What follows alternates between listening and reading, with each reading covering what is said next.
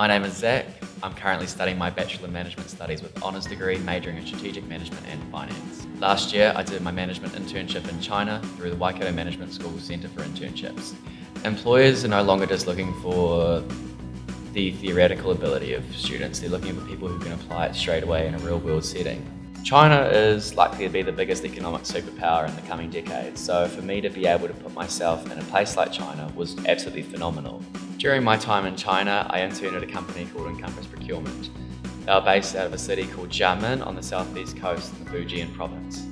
The company I worked for, Encompass Procurement, specialises in organising international logistics and distribution solutions The project that I worked on while I was in China was developing a world-first home automated product. This involved doing a lot of research on different factories, the capabilities, are they able to meet the requirements that we were looking for. I did research on international regulations and frameworks, the tangibility of introducing this product to different international markets, um, and visiting the factories to actually discuss product development and due diligence in cities like Huangshan and Shenzhen. My time in China was a very eye-opening experience The world that they have over there is very much not like our own here in New Zealand.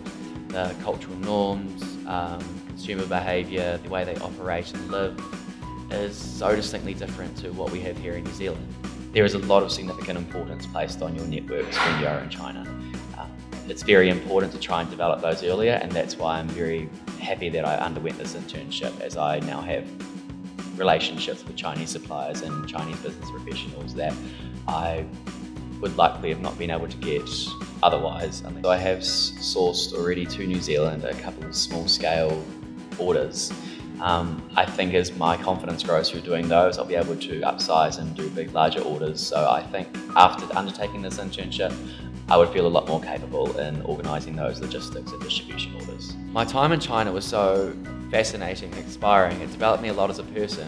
Um, as a result, I've actually ended up taking Mandarin classes to try and find an avenue to get back to China. Having the procurement internship in China position on my CV is definitely a big door kicker due to employers looking for a lot of experience um, other than the theoretical or grades.